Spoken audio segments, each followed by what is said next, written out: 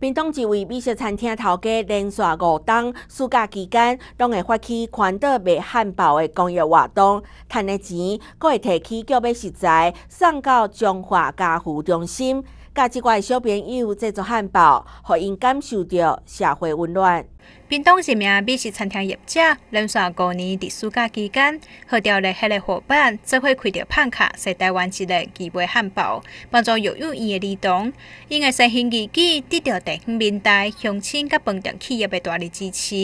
因为这个活动的话，早在我们一年前，我们就有特别邀请的瓦湖那个汉堡工厂来这边来做这个义卖，将这个义卖的所得扣除了必要的开销之后，然后。会捐给嗯彰化县的家家福中心去，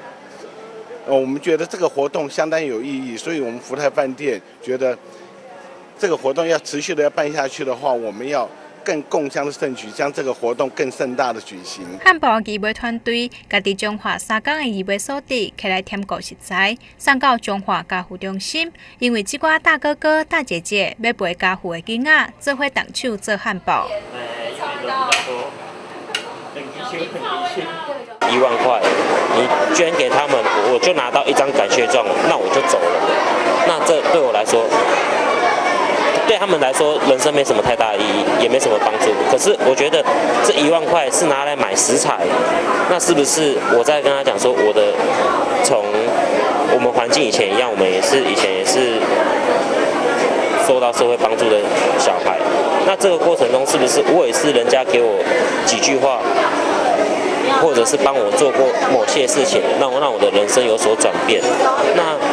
曾经有人翻转我的人生，我也希望说我可以去当一个可以翻转别人人生的人，可以给我们孩子这边不感觉说是接受哈哦，他们那个伟强已经做好的一个汉堡的一个施舍，因为他们自己做的东西，他们会觉得更踏实，哦，吃起来会觉得不感觉说是被施舍。那我们希望说。伟强这边借着他的爱心，未来能够哈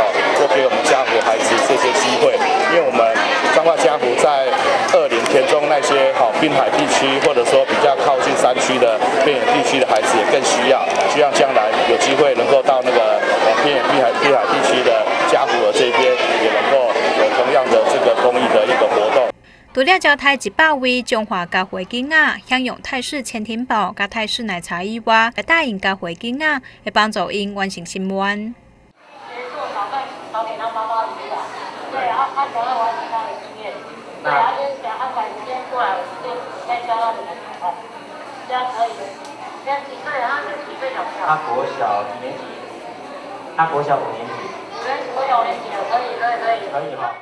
陈伟强表示，因为家己伫成长的过程，也捌受过真侪人的帮忙，有贵人甲引导行倒来正道，所以陈伟强也想要趁家己有能力的时阵，会当鼓励甲伊共款的囡仔发挥影响力。汉卡结束中华新城，将真正后一站台中，有兴趣的朋友会当上映的粉丝专业，做会做爱心。大中华新闻，张世良、叶宏武、中华何必采访报道。